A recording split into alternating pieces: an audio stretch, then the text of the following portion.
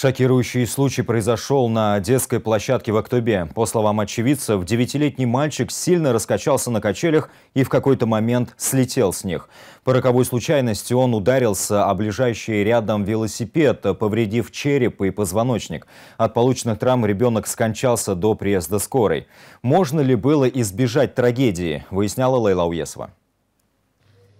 Это видео облетело все социальные сети. На кадрах видно, как мальчика изо всех сил раскачивают на качелях, и в какой-то момент он поднимается слишком высоко и срывается. При падении ребенок упал на лежащий рядом велосипед. От удара ему проломило череп, был поврежден позвоночник. Прибывшая на вызов бригада скорой пыталась реанимировать пострадавшего, но безуспешно. По приезду бригады ребенок без сознания.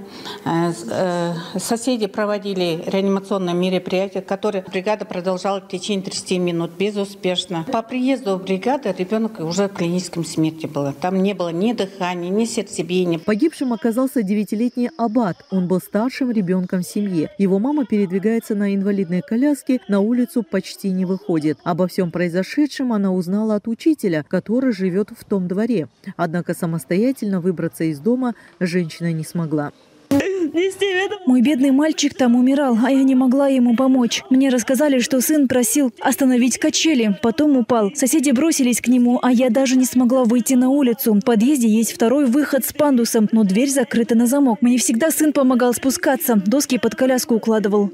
Отец Джабата в это время лежал с младшим сыном в больнице на другом конце города. Но как только узнал страшную весть, бросился домой. Сейчас мужчина пытается понять, как такое могло произойти. Говорит, Аббат обычно не ходил в соседний двор и был примерным сыном. На днях семья радовалась очередной его победе в секции карате.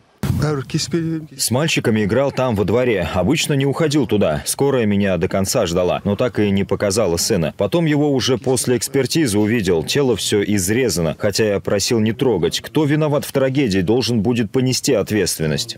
В причинах смерти ребенка сейчас разбирается полиция. Начато досудебное расследование по статье «Выпуск или продажа товаров, выполнение работы или услуг, не отвечающих требованиям безопасности». Во дворе, где все произошло, уже ничего не напоминает о трагедии. Место падения лишь засыпали песком. На площадке и даже на опасных качелях, где сидел Аббат, продолжают играть дети. Лейла Уйцева, Жумар Худайбергенов, телеканал ТДК-42, Актубе.